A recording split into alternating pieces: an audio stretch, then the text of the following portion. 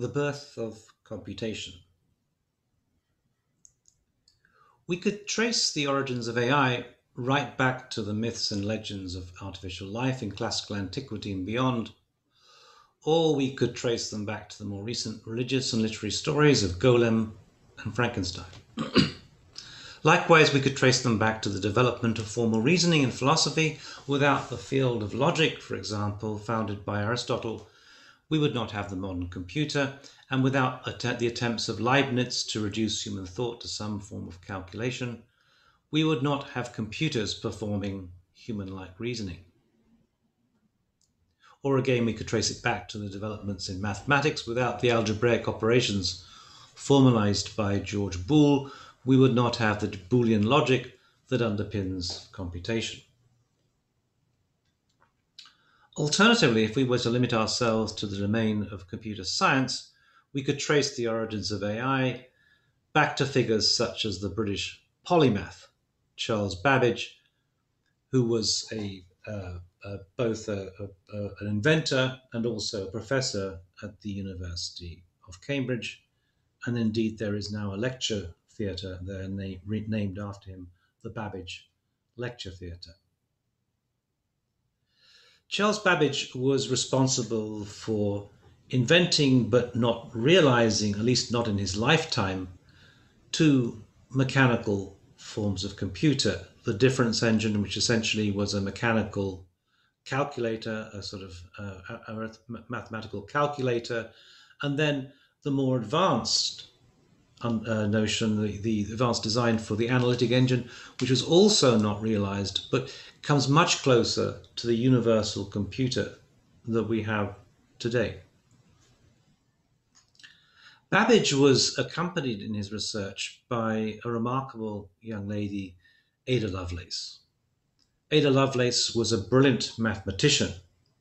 Famously, she was also the daughter of the equally talented but somewhat scandalous poet, Lord Byron, who abandoned uh, Ada Lovelace and her mother, who was also a brilliant mathematician, when Lovelace was only a few months old and left England never to return except when he was to be buried at the end of his life.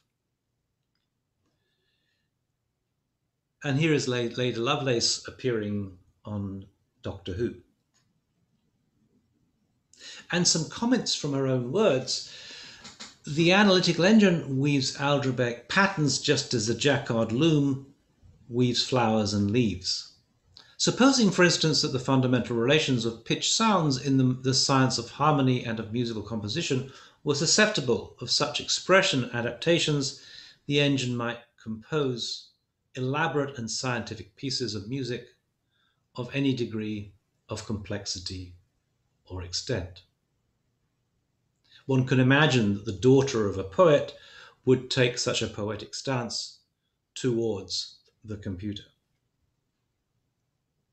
But she also was famous for being understood as being the first person who comprehended the possibility of programming. In the note that she made on the analytic, analytic engine, she makes some references that people have interpreted as the first remarks about the potential of software. Now, in that quote, she mentions the Jacquard loom. The Jacquard loom was played a very important role in the Industrial Revolution in the United Kingdom, and you can see it here on the left hand side.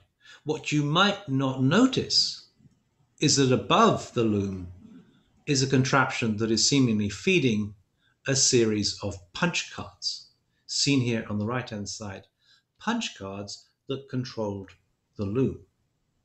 Now, interesting, interestingly, the, the punch cards survived as a mechanism right up into the 1960s. I was a student at Cambridge working in the computer science department above the Babbage Lecture Theatre in the 1980s.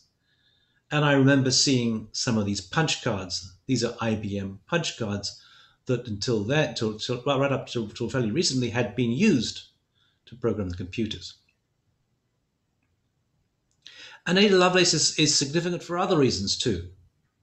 Here we have um, two women who were operating in the 1950s on one of the 1960s, sorry, on one of the, the early forms of computer.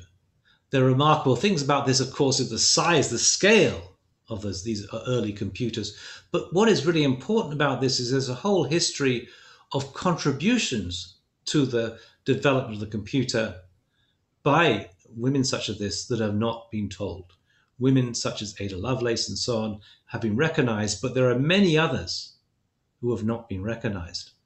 In fact, Sadie Plant produced a book called Zeros and Ones about the role of women in the history of computation.